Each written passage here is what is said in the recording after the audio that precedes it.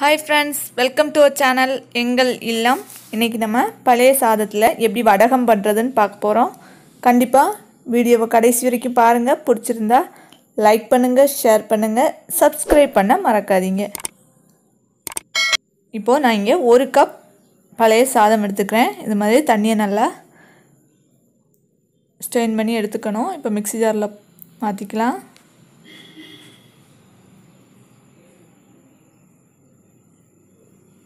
இப்போது நம்ம சாதத்தோட அரை ஸ்பூன் சீரகம்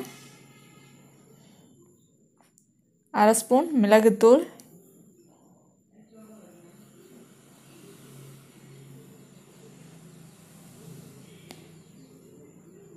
தேவையான அளவு உப்பு சேர்த்து நல்லா அரைச்சி எடுத்துக்க போகிறோம் நல்லா பேஸ்ட் மாதிரி அரைச்சிக்கோங்க. தண்ணி சேர்க்காமல் அரைச்சிக்கோங்க.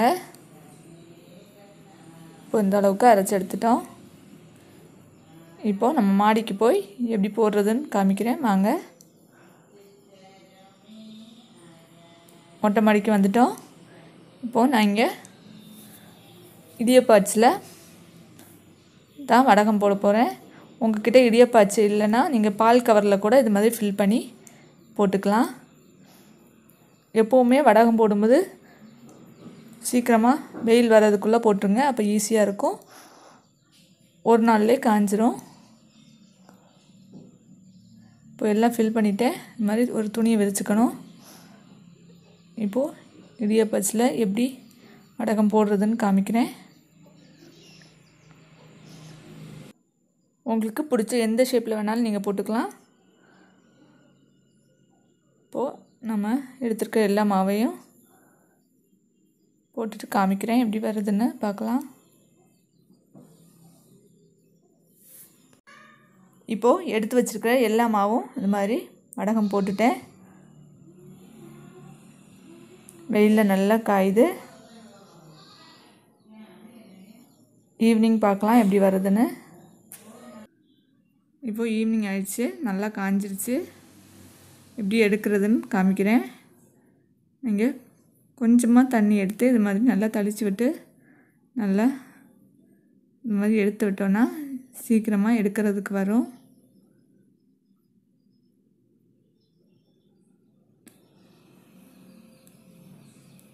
நீங்கள் குழந்தைங்களுக்கு இது ஈவினிங் ஸ்நாக்ஸாகவும் செஞ்சு கொடுக்கலாம்.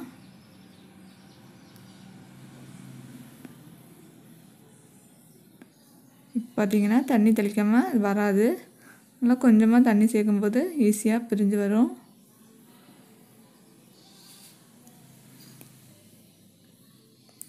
லைட்டாக தண்ணி இது மாதிரி டேப் பண்ணி கொடுத்தா போதும்.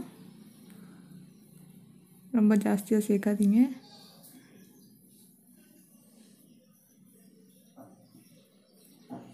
கொஞ்சம் கூட ஒட்டாமல் வருது.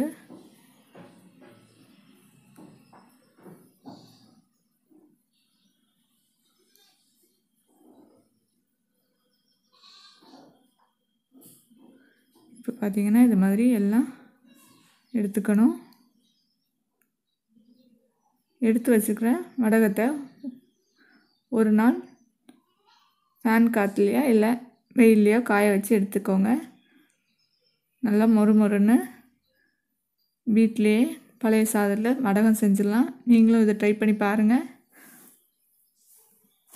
இப்போ பொறிச்சு எடுக்கும் போது இவ்வளோ கிறிஸ்பியான வடகம் ரெடி ஆயிடுச்சு. தேங்க்ஸ் ஃபார் வாட்சிங்